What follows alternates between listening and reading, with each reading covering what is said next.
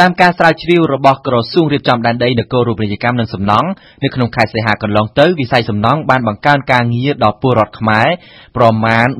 12000នាក់បើនិយាយតែពីក្នុងក្រុងភ្នំពេញគឺមានកម្មករសំណង់ដល់ទៅ7000ទៅ8000នាក់ដែលធ្វើការនៅក្នុងមួយថ្ងៃមួយថ្ងៃក្រសួងដដែលបញ្ជាក់ថាកម្មករគ្មានជំនាញធ្វើការមួយថ្ងៃបានលុយប្រហែល35000ទៅ50000រៀលចំណែកកម្មករមានជំនាញនិងមេជាងបានប្រាក់ប្រចាំថ្ងៃប្រហែល50000ទៅ75000រៀល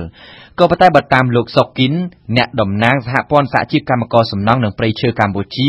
ហៅកាត់ថា BWTUC បានប្រាប់បច្ចុប្បន្នបារាំង RFI ថាសប្តាហ៍ថ្ងៃកម្មករនៅក្នុងផ្នែកសំណង់អាចមានចាប់ពី280000ទៅ300,000នាក់ចំណែកប្រាក់ខែសម្រាប់កម្មករគ្មានជំនាញគឺមានកម្រិតទាបមែនទែនគឺចាប់ពី5ទៅ7ដុល្លារតែប៉ុណ្ណោះនៅក្នុងមួយថ្ងៃហើយបើស្ត្រីកម្មករវិញ បានត្រឹមតែ18000ឬជាង4ដុល្លារទៅ5ដុល្លារតែប៉ុណ្ណោះក្រៅពីប្រាក់ខែប្រចាំថ្ងៃទៀតអ្នកតំណាងសហជីព BWTUC ដែលមានសមាជិកជាង5000នាក់បានសម្ដែងការព្រួយបារម្ភថា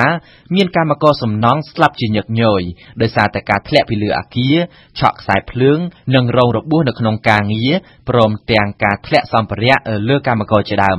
ដើម្បីរស់ពួកគេធ្វើការទាំងប្រថុយប្រថានប្រៀបបានទៅនឹងការធ្វើការមួយថ្ងៃមួយថ្ងៃដោយយកជីវិតទៅបដូរ បន្ថែមលើហានិភ័យទាំងនេះកម្មករសំណង់ត្រូវធ្វើការដោយប្រើកម្លាំងធ្ងន់ធ្ងរព្រមទាំងប្រឈមនឹងបញ្ហាសុខភាពនិងអនាម័យនៅក្នុងកន្លែងការងារតាមលោកសុកគិនវិស័យសំណង់មិនសូវមានឬស្ទើរតែគ្មានតែម្ដង ការយកចិត្តទុកដាក់ពីស្ថាប័នពាក់ព័ន្ធគឺវាមិនដូចទៅនឹងវិស័យកាត់ដេរនោះឡើយប្រពន្ធដដែលបានស្នើសុំឲ្យក្រសួងនិងស្ថាប័នមានសមត្ថកិច្ចឲ្យចុះធ្វើអធិការកិច្ចត្រួតពិនិត្យការដ្ឋាន និងដាក់វិធានការតឹងរឹងទៅដល់ក្រុមហ៊ុនសំណង់ឲ្យបំពាក់សម្ភារៈសុវត្ថិភាពដល់កម្មករ